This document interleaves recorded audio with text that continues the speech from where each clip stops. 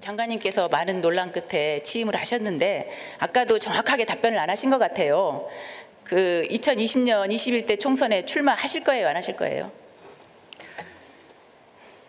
제가 지금부터 이 무거운 자리에 직을 어, 최선을 다해서 혼신의 힘을 쏟아서 어, 정책적 성과를 내는 것이 우선이고요.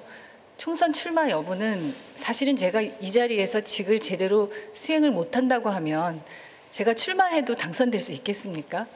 따라서 출마 여부에 대한 아, 논란보다는 제가 이 직을 어떻게 잘 책임 있게 수행할 것인가를 더 깊이 고민하고 더 깊이 아, 경청하고 실제로 교육개혁의 정책을 추진하기 위한 노력에 집중할 것이라는 말씀을 다시 한번 드립니다. 근데 이거는 사실은 총선 출마는 누가 결심하는 것이 아니고 본인이 결심하시는 것이기 때문에 근데 그 본인의 거치 관련해서도 분명하게 얘기를 못 하시고 계시지 않습니까?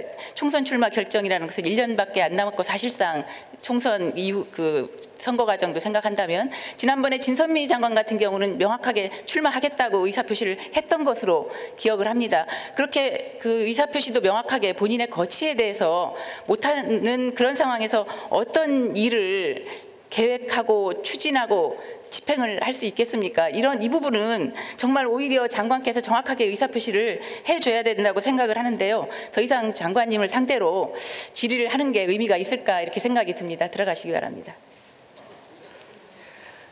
예. 제가 예. 의원님들께서 우려하시고 또 국민 여러분들께서 저에게 걱정하시는 부분들을 깊이 잘 받아들이고 있습니다. 다만 총선 출마 여부가 핵심은 아니라고 생각합니다. 제가 아, 언제까지 어떻게 어, 일을 하고 평가받을지는 모르겠지만 그 직에 혼신의 힘을 다하고 더 필요하다고 하면 더 일을 할 수도 있는 것이겠죠. 그것은 제가 혼자 결정하는 일이 아니기 때문에 이렇게 말씀드린다는 점을 다시 한번 예, 아, 예, 이해해 주시기 됩니다. 부탁드립니다. 예, 예. 총리님 나와주시기 바랍니다.